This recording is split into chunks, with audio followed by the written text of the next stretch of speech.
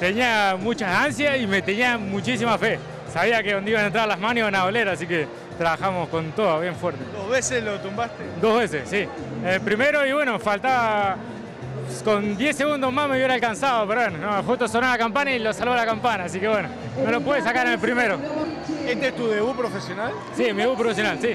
Igual, eh, tuve una buena carrera amateur peleando seguido y gracias a Dios eh, se me dio re bien, gracias a Dios se me dio re bien. La verdad que estoy muy conforme, muy linda la pelea. Bajé 14 kilos antes de 20 días. Pero bueno, igual no, es, no justifica que haya perdido. Perdí bien. Me enganché la mano abajo, me dolió igual. ¿Qué le ¿Del? Chaco viniste? Sí, de Chaco vine. Pero hasta incluso ese día antes del pesaje tuve que bajar eh, un kilo, tuve- me tuve que poner a, a saltar soga para dar la categoría. Pero bueno, la culpa es mía, no es de nadie más. Una pelea rápida la última. Y sí, rápido, rápido. La verdad que tiene, tiene, un, buen, tiene un buen proyecto.